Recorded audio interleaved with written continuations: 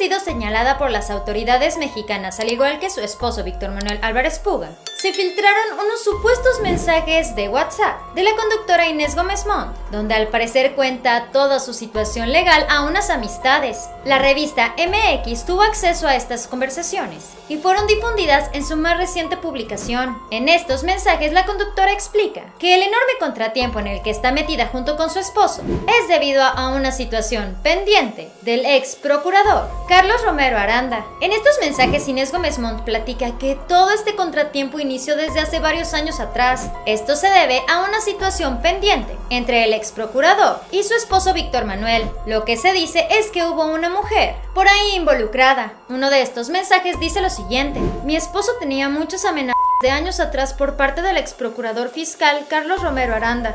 Tenían problemas personales muy fuertes, todo derivado por un tema de faldas. Lamentable pero real. Dentro de esa sed de venganza, me involucró a mí sin tener nada que ver. En otro de los mensajes, Inés le platica a sus amistades que ella en un principio no quiso hablar públicamente, debido a que pensaba que se complicaría su caso. Sin embargo, después de haber realizado unas publicaciones en redes sociales, las autoridades dieron a conocer más órdenes de llevársela a sus instalaciones. Justamente lo que no quería provocó. En ese mensaje, Inés escribió, en un principio me mandaron decir que si hablaba públicamente se complicaría mi caso. Con miedo, mucho miedo, levanté la voz y me giraron tres órdenes más por ejercicios fiscales, siempre en el cine.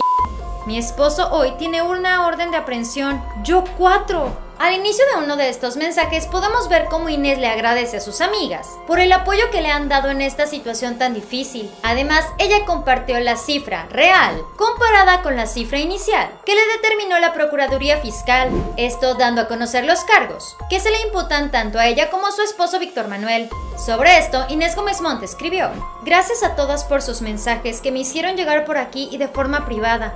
Les agradezco en el alma. Les comparto esta nota que salió hoy. Es la primera vez que alguien habla de cifras reales. Pasamos de una difamación por parte de la Procuraduría Fiscal de 3 mil millones de pesos a 2 millones de pesos de mi esposo y 14 míos. Por lo menos aquí ya hablan de cantidades reales.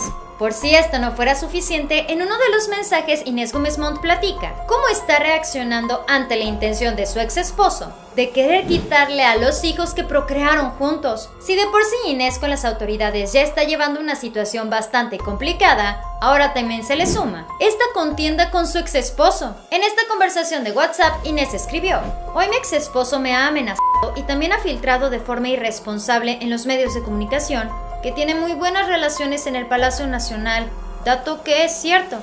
Dice que me va a meter a la cárcel y me va a quitar a mis hijos, los cuales abandonó cuando tenían seis meses de nacidos. También se presume que mi ex esposo es cercano al mismo círculo del ex procurador fiscal de tiempo atrás. Aquí se juntaron el hambre y las ganas de comer. Inés Gómez Montt finalizó esta conversación con una muy peculiar petición. Ella le mencionó a sus amigas que sabe perfectamente que algunas de ellas tienen de alguna forma cercanía con su expareja. Por esta razón les pedía y les rogaba mucha prudencia, pidiéndoles sobre todo que no les vayan a dar en toda la cara, como anteriormente ya se lo han hecho varias personas cercanas a la pareja. Inés terminó diciendo que al ser figura pública es bastante difícil abrir el corazón y tenerle confianza a una persona. Pero justamente lo que pidió Inés fue todo lo contrario a lo que sucedió, ya que esta conversación se filtró para todas partes. Esto fue Famosos de cerca. Dale like a este video, suscríbete y síguenos en Facebook.